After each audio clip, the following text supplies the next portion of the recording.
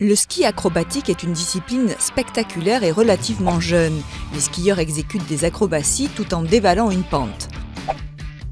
Ce sport extrême, populaire, compte cinq épreuves olympiques.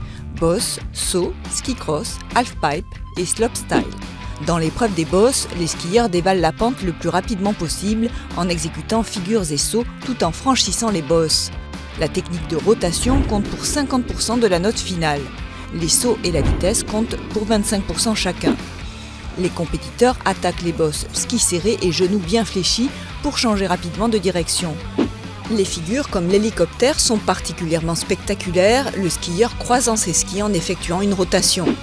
Dans l'épreuve des sauts, les athlètes s'élancent d'un tremplin de 2 à 4 mètres de haut. La réception sur la zone inclinée doit se faire sans heurts. La hauteur et distance du saut représentent 20% de la note, l'exécution 50% et la réception 30%.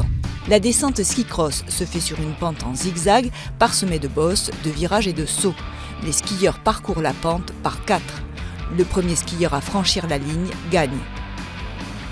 Dans le half-pipe, les skieurs descendent une pente d'au moins 150 mètres de long, faite de neige dure. Ils sont jugés sur la performance générale, dont la hauteur, les rotations et la technique. Dans le slopestyle, le skieur emprunte un parcours composé de divers obstacles, comme des tables, des murs, des rails métalliques ou des rampes.